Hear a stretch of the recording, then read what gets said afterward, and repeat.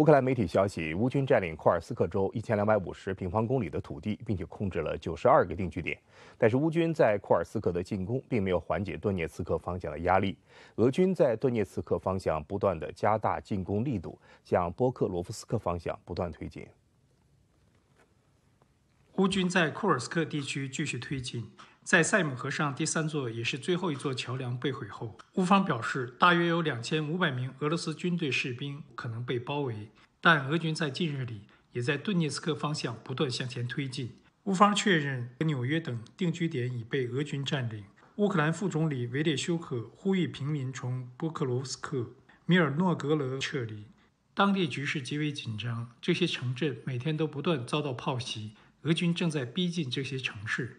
当地政府表示，波克罗斯克的居民最多有两周的时间撤离。现在每天约有五百到六百居民离开该市。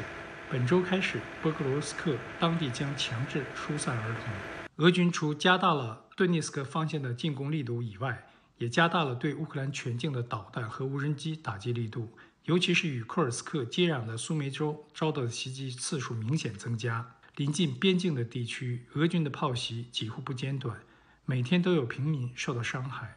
凤凰卫视特约记者李向基辅报道。